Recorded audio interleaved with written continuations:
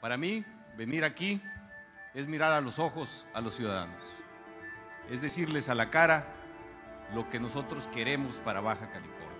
Este foro no es un foro oficial y eso nos entusiasma a quienes somos partidarios de la necesaria,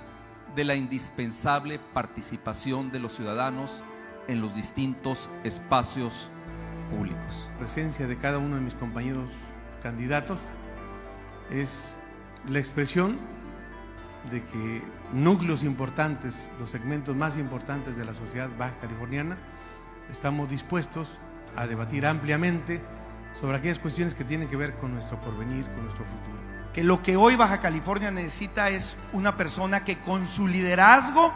nos reúna a todos para la solución de nuestros problemas. El rival que tenemos a vencer es la apatía, la indiferencia de participar en los eventos públicos, de dar un paso adelante para ser candidato ciudadano, ser candidato de un partido, ser militante de un partido, pero sumarse al esfuerzo de mejorar nuestro entorno en Baja California.